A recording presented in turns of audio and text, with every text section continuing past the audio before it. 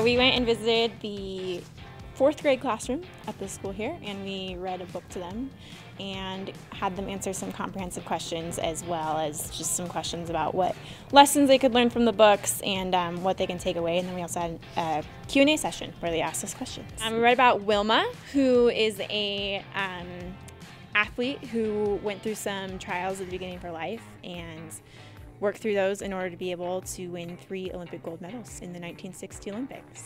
Um, I was surprised they were actually really quiet while we were reading the story, which was awesome.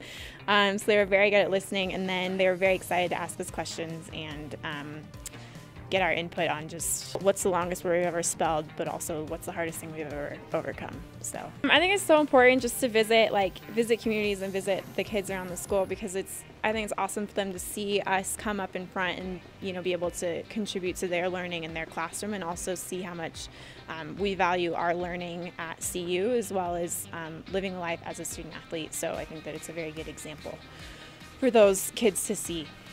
We came uh, to this fourth grade class and we, we read a book on Wilma. Uh, she actually had polio on her left leg when she was a child and overcame it and ended up going to the Olympic trials in 1960 and winning three gold medals. We asked them a lot of questions at the end. I mean, they, uh, they asked us questions, and they were actually really intelligent. Uh, it kind of caught me off guard with some of the questions they asked us.